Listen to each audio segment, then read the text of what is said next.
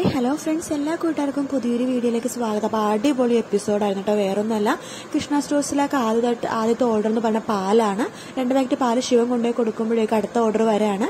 പക്ഷെ അയാളിങ്ങനെ just doubt ചോദിക്കാൻ വേണ്ടി വിളിക്കുകയാണ് കേട്ടോ. അതിനുശേഷം പിന്നെ അങ്ങോട്ട് കോളിന്റെ പൂരമാണ്. ഒരു പാട്ടോട് കൂടിയിട്ടാണ് കാണിക്കുന്നത്. വേറൊന്നുമല്ല. ചാക്ക് കണക്കിന് ആൾക്കാർ ഉരുളക്കിഴങ്ങും സവാളയൊക്കെ മേടിച്ചുകൊണ്ട് കല്യാണ ആവശ്യത്തിനൊക്കെ ഉണ്ടല്ലോ. സാധനങ്ങൾ ആവശ്യത്തിന് അപ്പം മേടിച്ചുകൊണ്ട് പോവാണ്.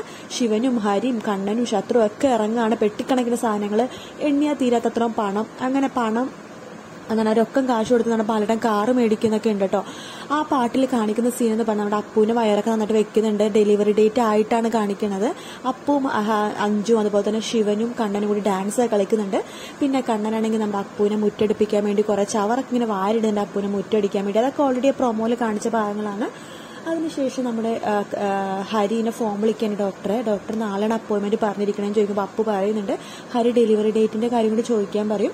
ഡോക്ടർ പറയും നാളെ ചെക്കപ്പിന് വാ. ഡെലിവറിക്ക് എപ്പോഴാണ് അഡ്മിറ്റ് ആവേണ്ടതെന്ന് ഞാൻ പറയാമെന്ന് പറയും. അങ്ങനെ കുഞ്ഞുവാവ നാളെയോ മറ്റന്നാളോ തന്നെ വരുമെന്ന് നമുക്ക് പ്രതീക്ഷിക്കാം ഈ പ്രൊമോയിൽ പിന്നെ കാണിക്കുന്ന നമ്മുടെ ശിവനും ഹരിയും ബാലനൊക്കെ ക്ഷീണിച്ച് ഉറങ്ങാം കേട്ടോ ശിവനാണെങ്കിൽ അഞ്ചുടെ മടിയിൽ കിടന്ന് ഉറങ്ങാണ് നമ്മുടെ ബാലറ്റിന്റെ മടിയിൽ ഹരി കിടന്ന് ഉറങ്ങാണ് അങ്ങനെ അത്രയോ ക്ഷീണിച്ച് ഉറങ്ങാണ്. കാറ് കാണുമ്പോൾ എല്ലാവർക്കും ഭയങ്കര സന്തോഷമാവും അപ്പോൾ നമ്മുടെ ബാലൻ പറയുകയും ചെയ്യും ദേ ഇത് രൊക്കം പൈസ കൊടുത്ത് മേടിച്ച കാറാണ്.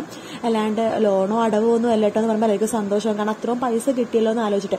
തമ്പിയാണെങ്കിൽ ആകെ ടെൻഷനിലാണ്. കാരണം ഫ്രീ ഗിഫ്റ്റ് എന്ന് പറയുമ്പോൾ ആ കടയിലല്ല സൂപ്പർ മാർക്കറ്റിൽ ഒരുപാട് പേര് വന്നു. ഇപ്പം ആരും തന്നെ വരുന്നില്ല കേട്ടോ. പക്ഷെ അവർക്ക് on daily door step delivery ആയിട്ട് അപ്പപ്പോൾ ആൾക്കാർ വന്നുകൊണ്ടിരിക്കുകയാണ്. പിന്നെ ശത്രുവിനെ നമ്മുടെ രാജേശ്വരി പിടിക്കുന്നുണ്ട്. ശത്രു പറയുന്നുണ്ട് ഞാനല്ല എന്നൊക്കെ പറയുമ്പോൾ രാജേശ്വരി ഞാൻ പിടിച്ചോളാം എന്ന് പറഞ്ഞ് പറഞ്ഞയക്കുന്നുണ്ട് കേട്ടോ. പക്ഷെ തലയച്ചിട്ട് ആരെന്നൊക്കെ ചോദിക്കണൊക്കെ ഉണ്ട്. അപ്പൊ എനിക്ക് തോന്നുന്നു രാജേശ്വരി ഏറെ കുറെ ഒക്കെ മനസ്സിലായി ശത്രുവിന്റെ പേരിലാണ് ആ സിം എടുത്തിരിക്കുന്നത്. അപ്പൊ അങ്ങനത്തെ കുറെ കാര്യങ്ങളൊക്കെ രാജേശ്വരി മനസ്സിലാക്കുന്നുണ്ട്. അപർണ സ്റ്റോഴ്സിന്റെ പോസ്റ്റർ ഒട്ടിച്ച പോലെ തന്നെ കൃഷ്ണ സ്റ്റോഴ്സിന്റെ പോസ്റ്റർ നാട് മൊത്തം ഒട്ടിക്കുകയാണ്. അതുകൊണ്ട് തന്നെ കൃഷ്ണ സ്റ്റോഴ്സിന് ഇരിക്കാൻ പോലും സ്ഥലവും സമയമില്ല ആർക്കും അത്രയും കച്ചവടം വന്നുകൊണ്ടിരിക്കുകയാണ്. അടിപൊളിയായിരുന്നു. ഒരു പാട്ടോട് കൂടിയിട്ടാണ് കൂടുതൽ സീനുകൾ ഇന്ന് കാണിച്ചത്. വീഡിയോ ഇഷ്ടപ്പെട്ടെങ്കിൽ ലൈക്ക് ചെയ്യുക സബ്സ്ക്രൈബ് ചെയ്യുക. മറ്റൊരു വീഡിയോ ആയിട്ട് വീണ്ടും കാണാം. Take care bye bye